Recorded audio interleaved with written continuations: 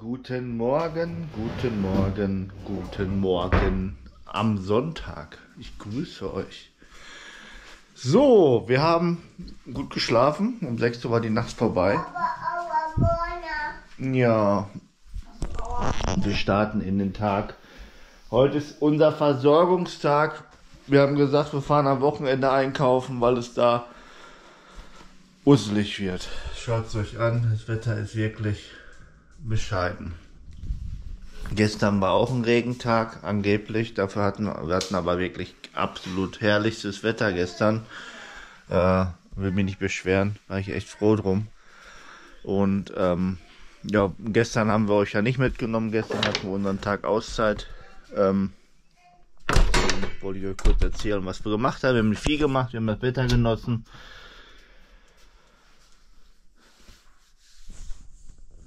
Etty, was ist los? Hattest du Geburtstag vorgestern?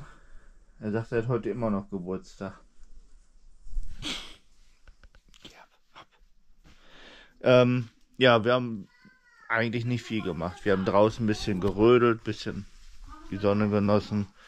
Was haben wir gestern gemacht? Ich habe schon mal den Draht geschnitten für die Betonverschalung, habe den Wohnwagen aufgeräumt, das Auto habe ich ausgesaugt. Die Mama hat hier Essen gekocht schon mal für heute. Heute gibt's ähm, Erdnussfännchen wieder mit Reis, dann hat sie einen Aufstrich gemacht, ich habe einen Aufstrich gemacht, die Küche aufgeräumt, Wäsche gemacht, also den üblichen Wahnsinn. Hey! Ach, du bist ein Ochsenfrosch hier. Hat er sich geholt vom Tisch. Mensch, du bist ein, du bist ein Ganove, bist du. Du bist ein Verbrecher, genau. Du hast doch gerade Essen gekriegt, du. Ah. Du hast doch gerade Essen gekriegt.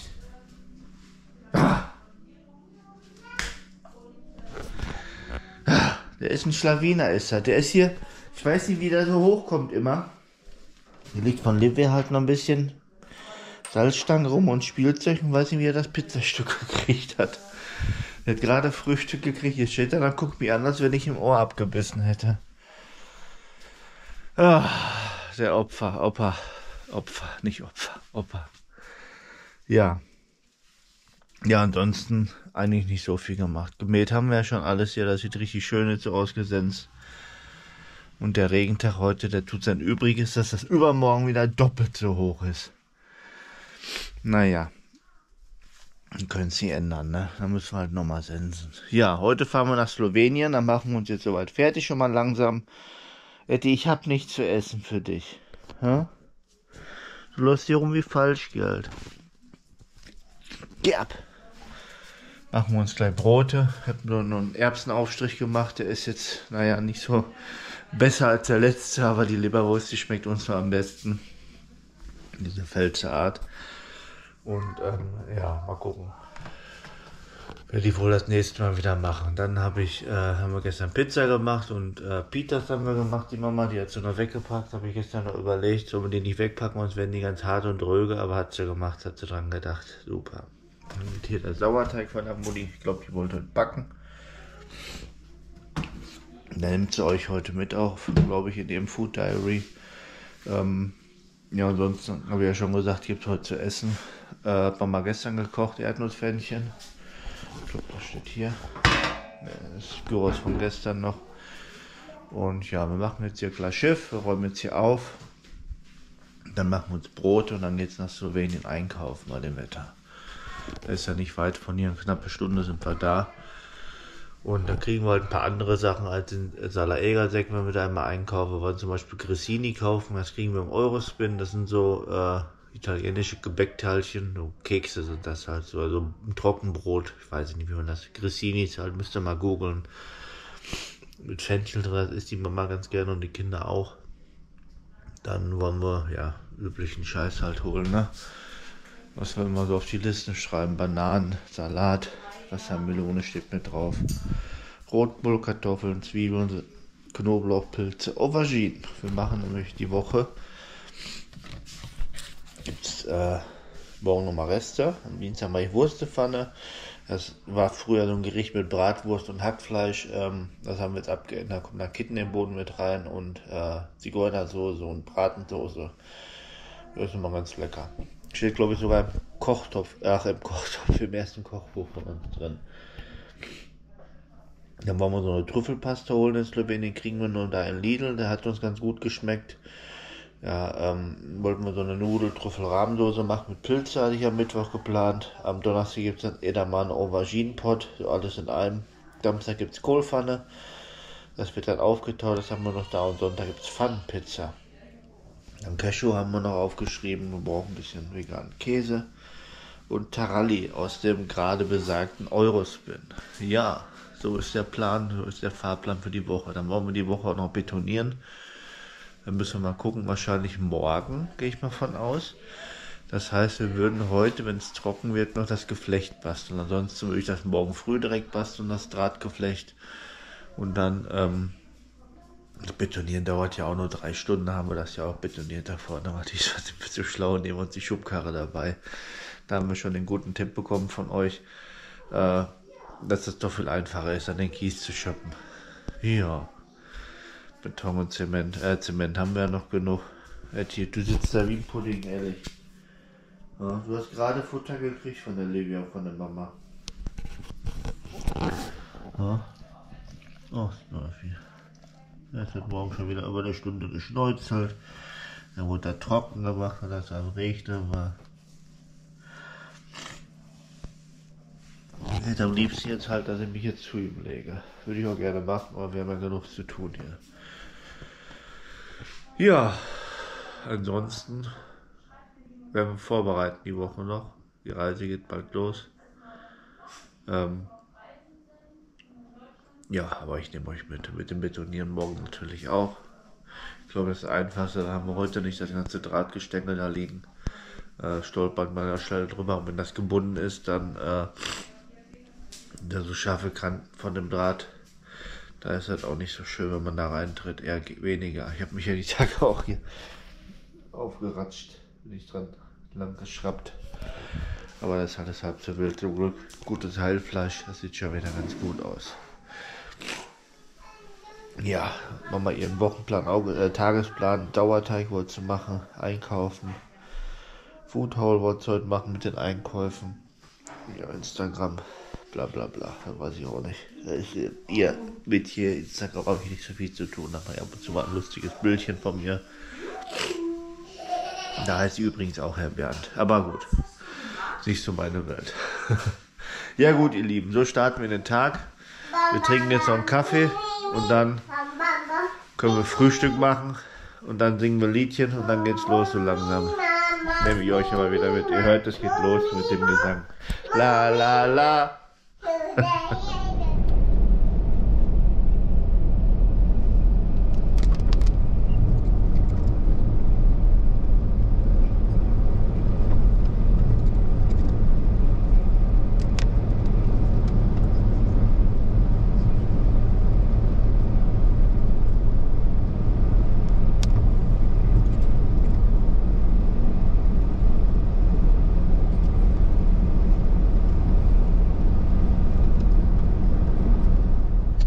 Ja, wir sind in Lindava jetzt angekommen. Die Zielführung startet jetzt. Wir haben Bitte folgen Sonntagszug. Sie der Straße für 3,6 Kilometer. Ja, jetzt fahren wir wieder zurück nach Salaegersek und kaufen dann da ein. Ja, ich weiß, lacht ruhig. Wir hätten uns schlau machen sollen, haben wir aber nicht.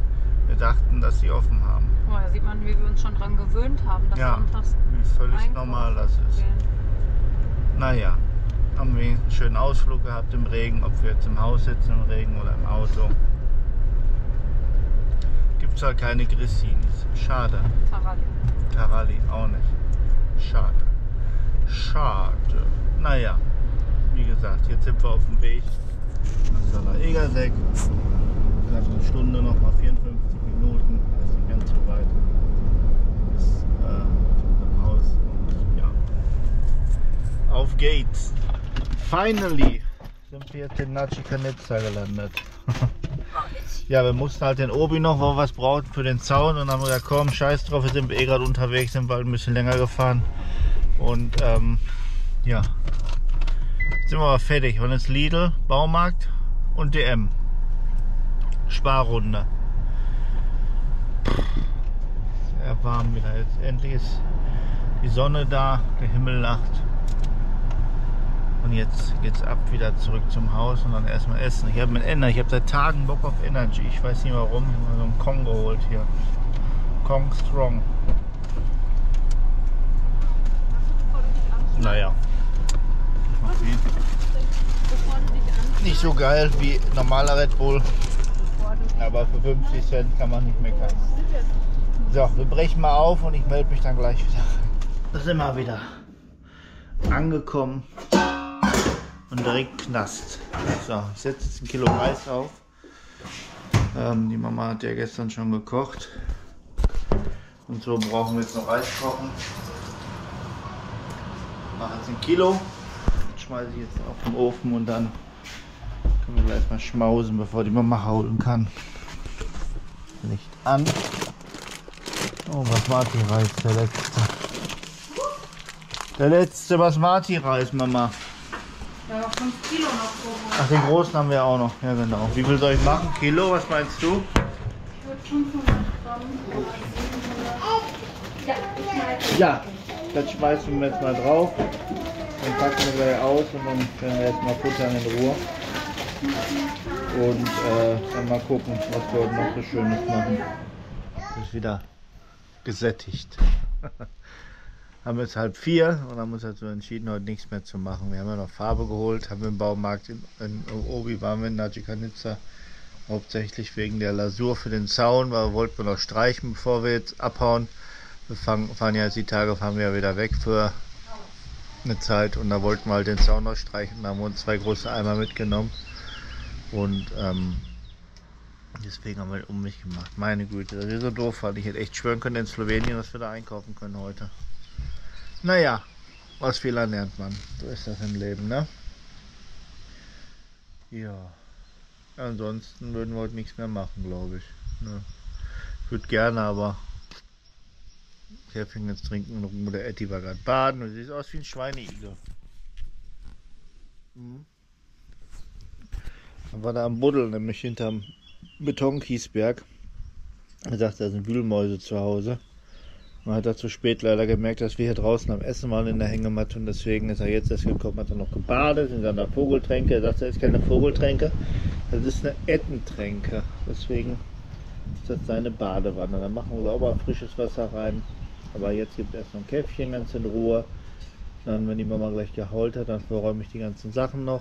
Ähm, die Farbe wollte ich auch verräumen. Da habe ich noch Handschuhe mitgenommen für morgen, extra wasserdichte, wenn wir hier Beton glatt ziehen. Haben wir eine Kelle, haben wir zwei Kellen haben wir. Und so eine äh, große Schippe habe ich mir noch geholt. Die ist eigentlich für andere Sachen. Ich weiß nicht, wofür die ist, aber die habe ich mir geholt für den Beton halt in kleinen Portionen hinzuklatschen irgendwo. Ja, morgen früh fangen wir damit an, mit dem Draht hier zu flechten und zu bauen für fürs Betonieren. Dann werden wir die Verschalung bauen relativ zeitnah. Dann kommen wir ja Dachpappen ans Holz dran, damit die halt ähm, nicht mit einbetoniert werden. Haben einen guten Tipp bekommen von einem lieben Zuschauer. Und ja, dann werden wir morgen hoffentlich alles fertig betonieren. Ja, gehe ich mal von aus, wir können das ja nicht lassen dann für, für übermorgen. Ja, aber in Summe ist das glaube ich weniger als die große Stufe, weil die auch viel höher ist. War. Ja. Ja, und dann kann das schön durchtrocknen. Dann werden wir wahrscheinlich ähm, ähm, Ende des Jahres hier Fliesen legen, je nachdem wie das Wetter dann ist. Ja, so sieht's aus. Mama hat gestern den Wein schon da ähm, zurecht geschnitten, geschnitten und geflochten. Da noch ein bisschen was abgeschnitten, dass er halt, äh, der war so am Schießen und am Rauswuchern, haben wir klein gemacht. Nächste Woche wollte ich noch hinterm Haus sensen. Ähm, Habe ich mir vorgenommen. Da hinten wollte ich auch noch mal einmal grob durchgehen, dass das Gröbste da weg ist. Und ja, ansonsten geht es dann nächste Woche schon los mit Packen wieder. Wohnwagen vorbereiten. Ja, wir freuen uns. Na, so langsam juckt er wieder im Popo. Zu reisen. Ja, aber ihr seid wieder natürlich dabei. Aber jetzt gibt es erstmal Käffchenpauschen. Und dann mal gucken. Ich habe schon gesagt, heute machen wir nicht mal viel. Ne? Haulen, verräumen alles, aufräumen. Und dann ist der Tag schon wieder gedroppt. Ne? Oder hast du noch irgendwas vor? Ja, heute nicht. heute nicht. Ja gut, ihr Lieben. Wir chillen mal noch ein bisschen. Und wenn wir noch was Lustiges machen oder was einfällt, melde ich mich dann gleich nochmal rein. Ansonsten mache ich nochmal nachher einen Abschluss und Resümee vom Tag. So. Ja, da hinten wird die Etty-Badewanne nochmal voll gemacht. Und die haben wir auch schon ein bisschen aufgeräumt. Ja, ich zeige euch mal den Stahl. Da fangen wir morgen früh erst mit an. Habe ich schon alles zurechtgeschnitten. Also die zum Binden. Die, ähm, ja, den Draht quasi. Und hier liegt die Reben, die wir da verbetonieren werden morgen. Das sind 60 Stück. Etty sagt, oi. Die haben wir auch schon abgedeckt. Etty, was hast du da? Etty, aus! Was hast du da? Dein Knochen. Okay. Nimm dir mit deinen Knochen. Ich dachte jetzt wieder ein Spieli von der Livia. Oh. Lauf. Ja. Ich zeige das. Oh, ich wollte mal kurz gucken. Haben ja uns letztes Jahr ähm, Feigenbäumchen geholt, aber irgendwie. Ach, der kommt. Der kommt da unten. Ja, da wird die Mama sich aber freuen. Da ist das Lebensbäumchen. Das kommt auch schön. Ja, sehr schön. Ich zeige euch mal ganz kurz die Abschnitte, die ich noch gemacht habe. Hier haben wir auch schon soweit alles aufgeräumt. Ja, den Zaun machen wir übermorgen, haben wir uns überlegt.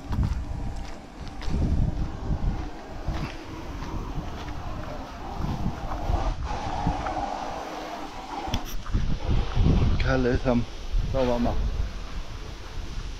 Er gerne mit dem Ratenschlauch. So, hier habe ich die Drahtdinger zugeschnitten. Wo wir morgen binden werden mit. Jetzt erzähle ich Mama mal die frohe Kunde. Mama, komm mal mit. Ich habe was ganz Tolles entdeckt. Das wird dich arg freuen. Pferde. Eine Million. Eine Million liegt hier auf dem Grundstück. Überrandmünze. Du bist auch so eine Krüger-Randmünze. Da wird dich ganz arg freuen, wird dich das. Guck mal hier, eine AA-Wurst vom Smurfy. Und wie?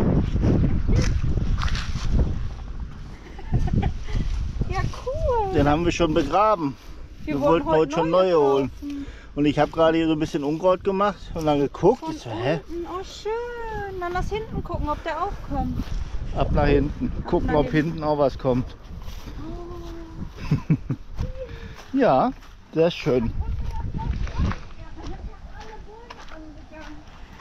Etsy. Außer ein Granatapfel. Boah, guck mal, die hier. Boah, Die wird schön blühen. Sind wir aber nicht da, glaube ich, ne? Man weiß es nicht. Außer ein Haselnussbaum, der wird nicht mehr blühen. Da sind wir drüber gesenzt, in Rasenmäher. Ja, wir gehen mal weiter Bäume Kückchen. Da hinten zur anderen Feige, ob die auch so feige ist. Und dann war es das für heute, glaube ich. Da ist der Wein. Der ist auch am Ballern ohne Ende. Und da sind die anderen Bäumchen. Das war hier, glaube ich, Birne.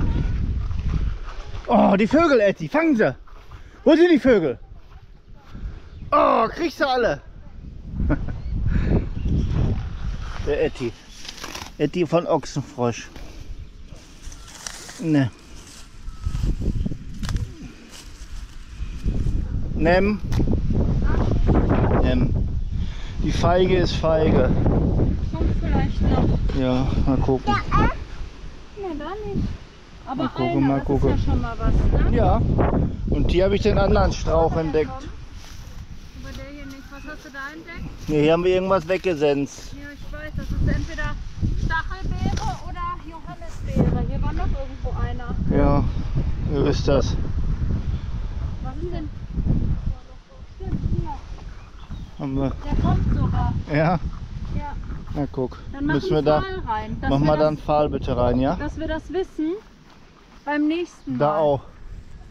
Bei dem bitte und bei dem. Ich guck mal eben hier, ob hier was kommt. Ja, ich habe schon geguckt, aber. Naja, wir gucken mal. Wir hauen ein paar Pfähle rein und dann machen wir Feierabend. Der Etti liegt da im Gras, guck mal, der genießt das richtig.